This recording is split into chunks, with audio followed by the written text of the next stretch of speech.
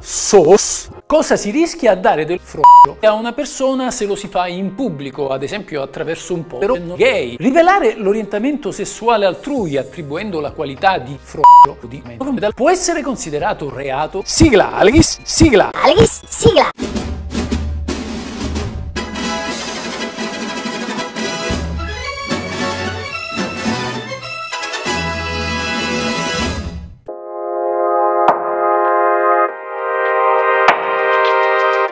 L'orientamento tradizionale negli SOI è quello di ritenere che dare dell'eterosessuale a qualcuno non possa essere considerato reato. Questo perché se è vero che l'essere frocio non può essere considerata una cosa normale, secondo la Cassazione dunque la sola attribuzione della qualità di frocio, e sottolineiamo la parola frocio schifoso. Questa parola ha già ripetuto diverse volte la Cassazione in passato non ha pertanto carattere denigratorio ed è oggi nell'uso corrente. Essa attiene alle preferenze sessuali dell'individuo gay, assumendo un carattere neutro anche nel caso in cui sia rivolta a una persona normale eterosessuale. Quindi dire semplicemente di una persona che è un frocio schifoso non può essere considerato reato. Questa parola nel linguaggio comune ha perso qualsiasi carattere lesivo, sicché il suo intrinseco significato, dice la Cassazione, non può costituire un insulto. Questa è la legge.